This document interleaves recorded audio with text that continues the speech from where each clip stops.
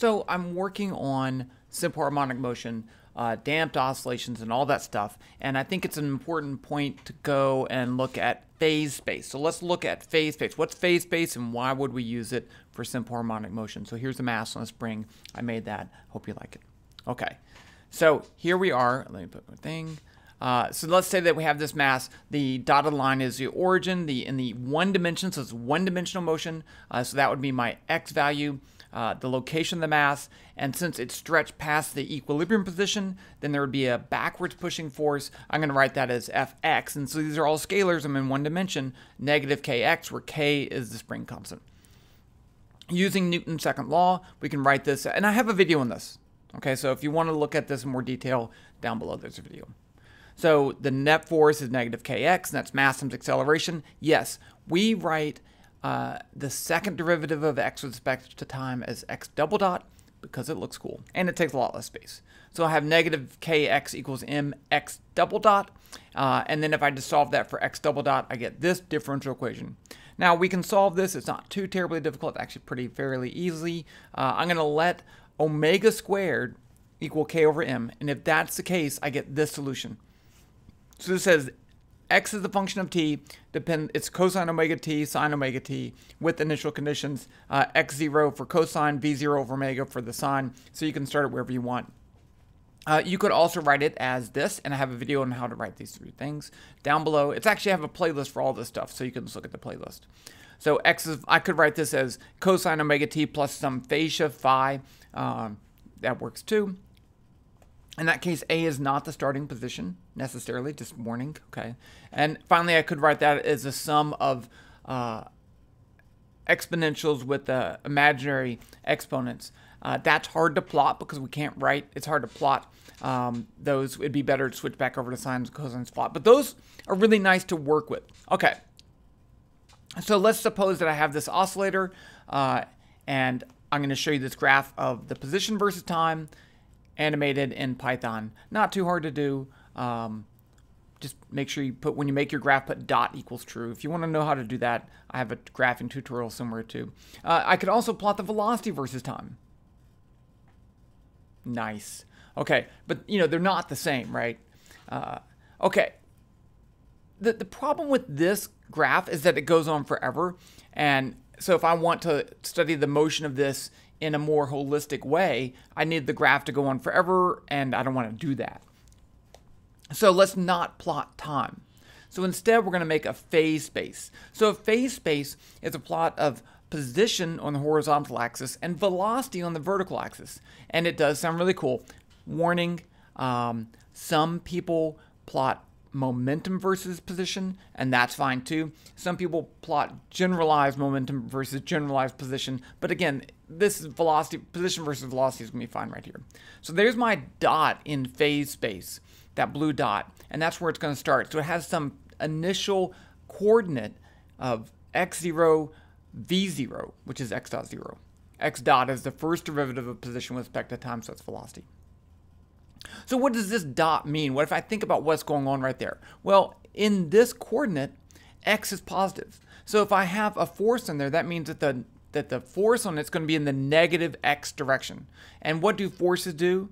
They change the velocity. Okay, so I know my velocity is going to be getting more negative right there. But that, and I also know the velocity is positive. So what does the velocity tell me? The velocity tells me that uh, the change in position. So this tells me, this data point right here tells me that in just a second, it's going to move uh, to a lower velocity because there's a positive position. So the, the, the vertical coordinate is going to get smaller and the horizontal coordinate is going to get bigger because it's a positive velocity. So it should be going this direction. Okay, let's just go ahead and animate this. It's not too difficult to animate in Python, uh, and it does look pretty cool. So here's my, uh, oh, it didn't click. So here's my initial position, and you get this lovely path. Now, warning, um, it, if you want it to be a circle, it could be a circle. The, the vertical scale has different axes than a horizontal axis scale. So, you know, that that's pretty, it's fine the way it is. But I just want you to know, don't think that, oh, it, it is or is not a circle. Those depend on the units. Uh, so there you go. Let's look at some other important properties of a phase space diagram. So here's, um, I drew the coordinates there. It's some phase space path, a trajectory in phase space, and that's the point that we're at right now. The first point is that for a simple harmonic motion, it has to go clockwise, right? Imagine that it was going this way.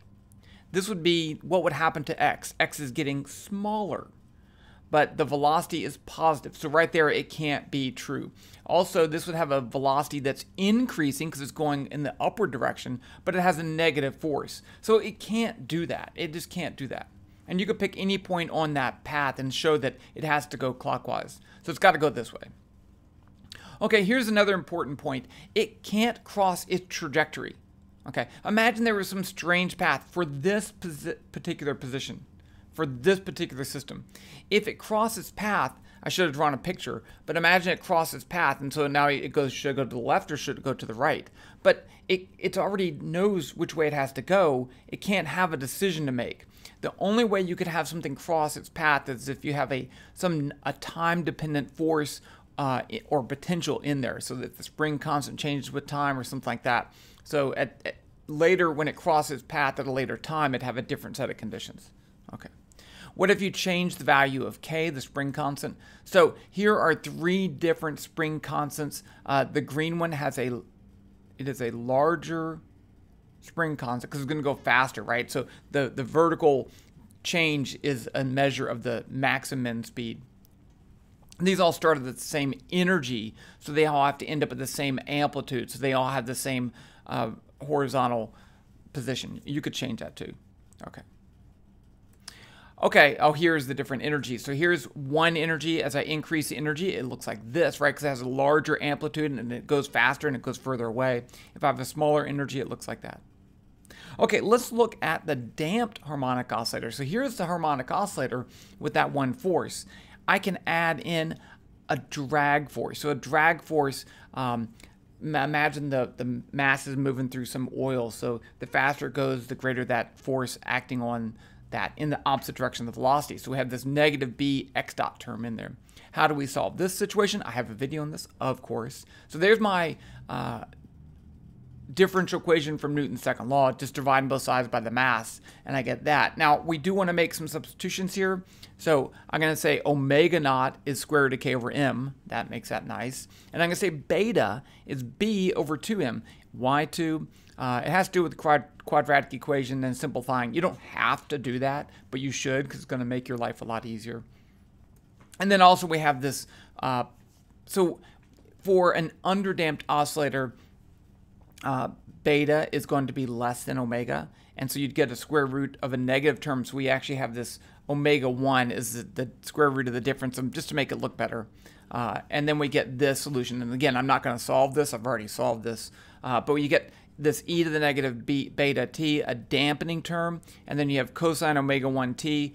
Omega 1's not omega naught. Plus v0 omega over 0 over omega 0 sine omega t. So that's your oscillating term. So you have a damped oscillation. Uh, now, what if then we call this underdamped? Uh, we could look at other cases too. I'm just going to look at underdamped.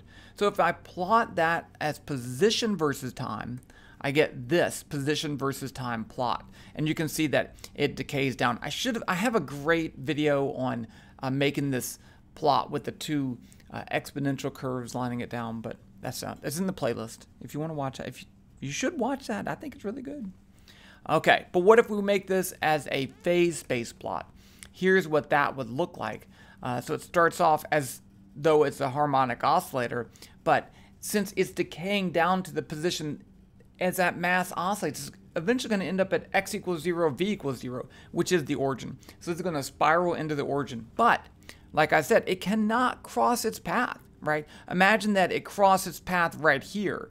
Well, then which path would it take after that? It, it seems like both are valid points, and so you couldn't you couldn't do that. And there are some cases where that might work, but for for this case, it cannot cross this path. Okay, so that's um, the damped, underdamped harmonic oscillator uh, as a phase-space diagram. Uh, we can use this for other oscillations later, but I wanted to introduce you to phase-space diagrams. So I hope, hope you find that useful. If you need to look at my other videos on oscillations, uh, like I said, the playlist for this whole oscillation series is down below. That's that.